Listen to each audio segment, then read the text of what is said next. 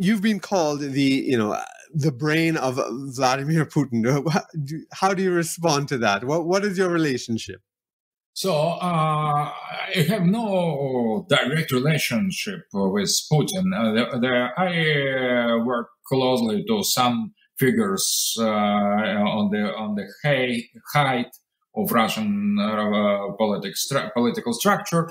But uh, what uh, uh, is more, I understand the main logic of Putin, and I have explained uh, or the logical development of Russia in the case of coming to the power of patriotic president long before Putin came. So I'm pretty mm-hmm. figure. So if you cons- uh, consult my my writings of 90s, uh, written in the 90s, you could find all the elements, almost all the elements of Putin politics about uh, Ukraine, about Eurasia, about, Middle East, about uh, alliance with Iran, about about importance of Turkey, uh, and this multipolarity. That is the main feature of Putin strategy, as well about conservatism and so on. So I, um, my influence uh, uh, uh, comes not from my special relations with Putin, but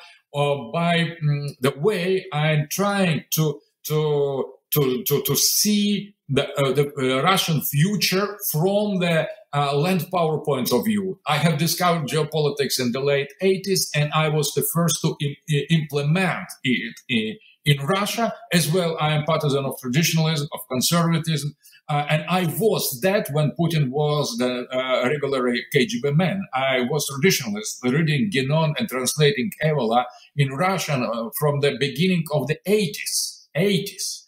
Uh, so I was fully prepared for uh, the changes, and I knew uh, what road we shouldn't we shouldn't take and what road we should take. Um, I, I, I, that, that, was the pity that we have that uh, Russia has made wrong decision and uh, with perestroika and liberalism with Yeltsin, but that was correction of this course um, with Putin. So the main, uh, you, you are right that Putin is uh, hated, but as well every every figure that try uh, that that dares to challenge the global domination of sea power to speak about tradition conservative values or identity is hated as uh, as much. So trump as you have uh, rightfully said is hated as well, not because he is agent of Putin, but uh, some some people uh, say that I have influenced Trump uh, campaign as well because the, my books was uh, uh, uh, among all among them uh, the political platonism, the last one, uh, was published by uh, the group of Trump's supporters. But all that is ridiculous, but what is serious? So the global system, a global way of thinking, liberal democracy, globalization has new enemy, ideological enemy. It is not anymore socialism, communism, uh, or, or, fascism.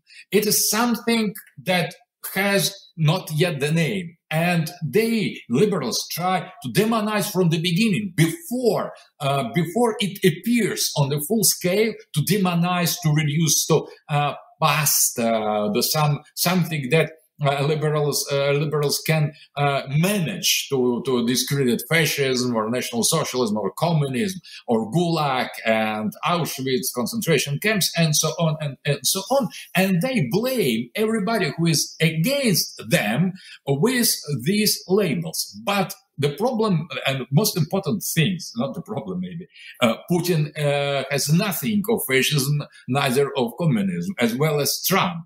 So they try to explain that present and the future challenge to their global domination by reducing, trying to put us, all of us, uh, political, political figure and intellectuals in the in the past, blaming us, targeting us as, as fascists, as communists, colonists, and Hitlerists, and so on. But they that, is their fear.